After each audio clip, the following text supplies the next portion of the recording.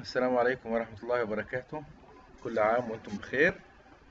آه، إن شاء الله هنبدأ النهاردة الجزء الأول من ال special course 3 آه، ال course طبعا مقسم إلى ثلاث أجزاء. آه، أنا هشتغل على ال- ال- الشغل بتاع ال seismology وبتاع الزلازل. وناخد معلومات عن أسباب حدوث الزلازل وكيفية قياسها وتحديد مواقعها وأشياء خاصة بالموجات السيزمية.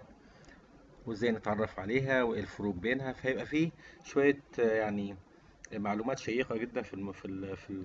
في الكورس إن شاء الله آه، يعني يمكن هيستكمل بعض الحاجات اللي هي مش موجودة أصلا في الكورسات اللي بتدرس آه، في المقررات الدراسية المنتظمة آه، أول حاجة عايزين نعرفها يعني يمكن النهاردة تبقى مقدمة مش هنحكي كتير هنتكلم بس عن إيه هو الزلزال والزلزال لو جينا عرفناه هو عبارة عن vibration of earth وال vibration ده بيحصل نتيجة لأنه في energy بيحصل لها release يعني آه، في بعض الطاقة مختزنة في الصخور والطاقة دي بيتم استخراجها أو ظهورها نتيجة لل vibration وال vibration بيجي أساسا من كسر في هذه الصخور أو لأسباب أخرى. يعني إحنا مش هنتكلم بالتفصيل دلوقتي بس عايزين نعرف بس الزلزال هو عبارة عن آه، حركة ارتعاشية أو vibration للأرض ينتج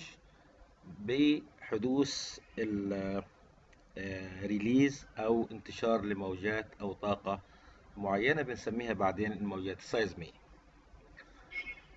ودي بتبقى massive energy بتبقى يعني طاقة كبيرة جدا وبيحدث دايما الزلزال زي ما قلت من شوية كده. آه، في أماكن مختلفة. السبب الأساسي the main آه، أو the major يعني cause آه، هو ال faults حوالين ال plate boundaries وفي أسباب تانية كتير بتسبب زلازل برضو. ال energy دي تبقى أساسا مختزنة أو مخزنة في الصخور نتيجة للضغط ال pressure أو ال compression اللي بيحصل على الصخور بسبب الحركات الأرضية. بيسبب strain يبقى دايما ال stress وال strain هم السبب آه، آه، تخزين أو storing the energy inside the rocks until the rock إيه breaks لغاية ما الصخر يحصل له كسر. Once إنه يحصل كسر للصخر بيحصل release على طول لل energy اللي كانت إيه مخزنة وتظهر هذه الطاقة في شكل seismic waves. يبقى عرفنا أول مسمى أهو. Seismic waves دي عبارة عن طاقة تخرج من الصخور نتيجة لكسر هذه الصخور. طيب ال release بتاع ال energy ده أو بتاع ال accumulated elastic strain هو السبب الأساسي لاهتزاز الأرض. زي ما حضراتكم شايفين كده في مركز معين بينتج منه اللي بيحصل فيه الكسر ده أو اللي هو في ال center ده. بيبقى على طول ال fault plane لو أنتوا شايفين إن على طول إيه؟ ال fault plane اللي هو ده. وبينتج عنه موجات. إحنا شايفين الموجات شكلها إيه هنا؟ شكلها دواير ولا شكلها خطوط ولا شكلها إيه؟ إحنا شايفينها دواير لكن هي في الأصل spheres عبارة عن أشكال كروية. والسمول fraction of the released energy بينتشر أو الجزء الصغير من الطاقة دي بينتشر خلال سطح الأرض من خلال الموجات اللي بتسمى الموجات السيزمية. ودي اللي بتسبب اهتزازات الأرض دايما بتكون مقترنة بالزلزال. لو إحنا بصينا هنا هنلاقي في نوعين أساسيين من الموجات. ساعات ب... يا إما بنسميها body waves أو بنسميها surface waves. ومن الاسم بقى. إحنا ممكن نعرف دول من الاسم بتاعهم. body waves يعني الموجات اللي بتسير في باطن الأرض أو في جسم الأرض. surface waves دي الموجات اللي بتسير on the surface of the earth. on the surface of the earth. كويس.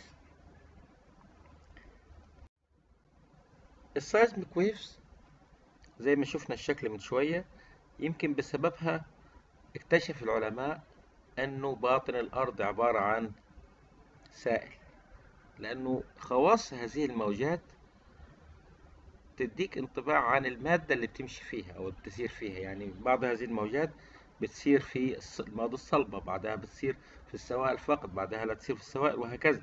عشان كده نقدر نعرف الخواص الطبيعية للمادة أو الميديا اللي بيتم فيها إيه سريان هذه إيه؟ الموجات.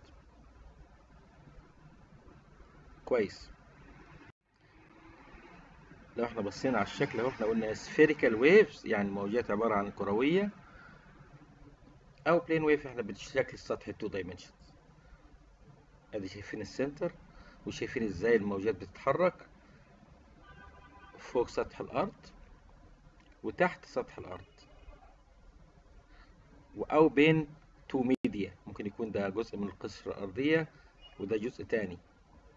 وشايفين هنا على الخط الفاصل ال interface between two interfaces بنشوف الانكسارات اللي بتحصل. نفس القصة spherical waves propagate outward at velocity v. طبعا هي بتتحرك بشكل معين. آه زي بالظبط لما بنجيب بتجيب مثلا قطع الصخر وترميها في مية بيتكون دوائر هي تشبهها بالظبط. هنتكلم عن الشكل ده وال vibration two dimension بعدين لكن خلينا نشوف أمثلة سهلة جدا عشان نقدر نتعرف على نوع الموجة. يعني لو عندنا مثلا ال body waves في نوعين منها. P wave اللي هي شايفينها حضراتكم دي أول واحدة. لو شايف لو إحنا علمنا على جزء من الأرض هنا بمربع الأسود ده شوف اللي بيحصل ليه لما تتحرك الموجة من الشمال لليمين. بص كده معايا بيحصل إيه؟ تضاغط وتخلخل. بيحصل compression و expansion يعني شايفين بيحصل تضاغط وتخلخل لل particles لكن مازال الجسم ده أو ال particles تتحرك في نفس اتجاه انتشار الموجة. لو الموجة جاية من الشمال لليمين ال particles كلها بتتحرك في نفس الاتجاه. وده السبب الأساسي اللي بيخلي الموجات أو النوع ده من الموجات ال P wave هي أسرع الموجات وصولا. هناخد طبعا هناخد ده بالتفصيل بعدين إحنا. ده النوع الثاني من الموجات ال body wave وبنسميه ال S wave. وهنحكي بعدين برضو ليه سمينا ده P wave وليه ده سمينا ده S wave. شايف هنا الحركة بتاعة ال particles بتبقى عمودية على اتجاه انتشار الموجة. عكس إيه؟ ال P wave. طب يا ترى مين اللي بيوصل أسرع دي ولا التانية؟ ال S wave ولا ال P wave؟ ال S wave توصل أبطأ. ال P wave بتوصل أسرع لأنه هنا بتاخد وقت الزمن أطول لأن بتتحرك up and down شايفين أنتوا الحركة بتاع ال particle motion بتاخد وقت عشان توصل لل target بتاعها. ده النوعين الأساسيين لمين؟ لل body waves اللي هي ال P wave ساعات بنسميها ال primary wave وال S wave ساعات بنسميها ال shear waves وهنحكي على الاسمين دول بالتفصيل وهنعرف إن شاء الله في المحاضرات الجاية الفروق الكاملة بين النوعين دول من الموجات. بعد كده هنسيب ال body waves وهندخل على الموجة الأولى من ال surface waves ال surface waves دول موجات سطحية ودي النوع الأول منها اسمه ال Love wave وال Love wave نسبة إلى العالم لاف اللي هو اكتشف هذا النوع من الموجات وشايفين بيشبه شوية الموجات ال S wave في ال particle motion وإحنا بنشوف هنا إن هنا ال propagation transverse يعني إيه متعامدة وبنشوف برضو ال black spot دي بتاعتنا إزاي دي بتمثل حركة الأرض بصفة عامة هنا. لما تشوف المربع الأسود ده لو ده بيتك أو ده مصنع أو ده مكان شوف الاهتزاز اللي بيتم فيه بيكون بالشكل ده. إلى الأمام والخلف والأعلى والأدنى. فمشكلة كبيرة. طيب النوع الأخير بقى من الموجات السيزمية وهو يعتبر النوع الثاني من الموجات السطحية ال surface waves. هو بنسميه Rayleigh wave. وال Rayleigh wave ده ده النوع الثاني وهو أبطأ الأنواع الموجات السيزمية سرعة.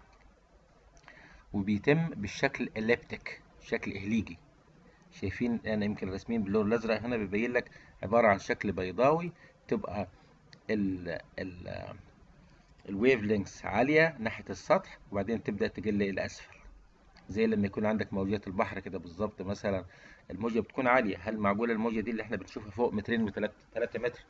تحت بتبقى نفس الارتفاع لا بيبقى ال bandwidth بتاعها أو ال أو ال wavelengths بتاعها أقل شوية.